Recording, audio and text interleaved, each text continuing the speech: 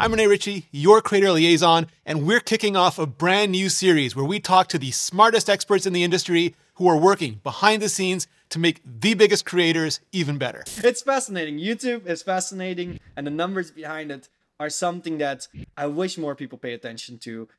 Sorry, let's try to do it one more time. I am here for you. All right. Yes, thank you, thank you. Okay. When you first start working with a creator and you open up analytics for the first time, what do you look at? So the first thing I do is I just look at the views and I try to understand if the channel is growing, if the channel is going down. And then after that, I go straight to the retention charts because if a video is like fun to watch, then people are going to come either way. So yes, thumbnails help. Yes, titles help.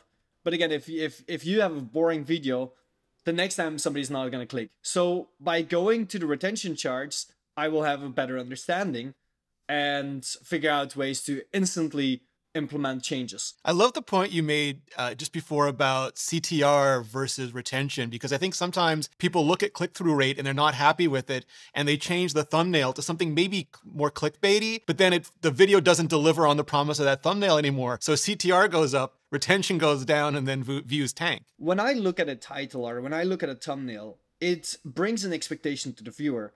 And if you don't match that expectation, then the viewer is going to be disappointed. And there's two moments where you see that disappointment happen. The first moment is in your retention chart, you're going to see a lot of drops. However, a creator has to know that that's not the only time when a when a viewer leaves. If you really think about it, if somebody only watches one of your videos and maybe they watch until the end and then they were like, this wasn't really a great experience, they wouldn't come back. So those are the two things. You can see the drops, but sometimes if you don't deliver up on a promise, they're just not going to come back the next time you promise something. And that is actually going to be detrimental for growth.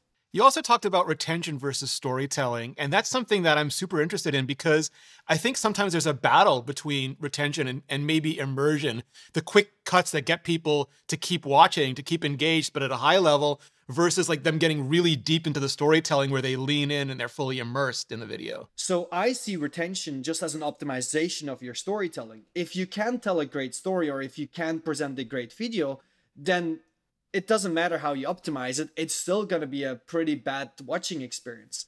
So we really have to look at it that way. And what retention actually is, because we call it retention, but in reality it's called audience engagement.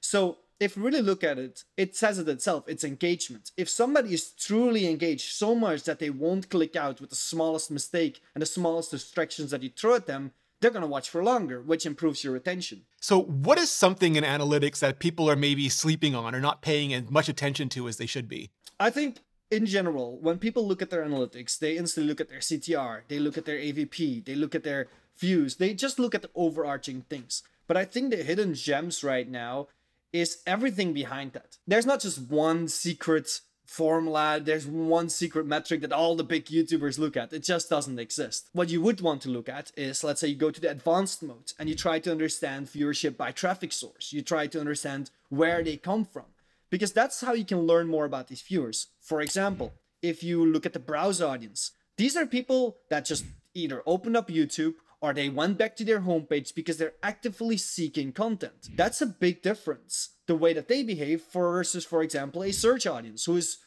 specific in a topic. And you're going to see that in your retention charts as well. You're going to see that at the click-through rate. With a search audience, the second that they have the value that they want, they're out, they're gone. They have their value. While a browse audience, most likely because of how YouTube works and how YouTube suggests stuff, these are probably browse audience tends to be your own audience. It's people who have already engaged with you before and they watch for longer. So even if they have had value, they might just be like, I'll stick around a little longer, even though this is a boring part, because I just like this creator. Another one that I want to touch on is geographical data is a very, very fascinating one. Same with like any metrics like, you know, gender or age. Those are also some of these things. And I think that's where the true hidden gems are because it's information that people currently don't really utilize and I think you can get so much more information from that than a CTR number that is very vague to interpret, where we don't really know is it because of the thumbnail, the title, is it the structure, all those kind of things. Paddy Galloway is on deck, so hit that subscribe button, get with the contenting, and we'll see you in the next one.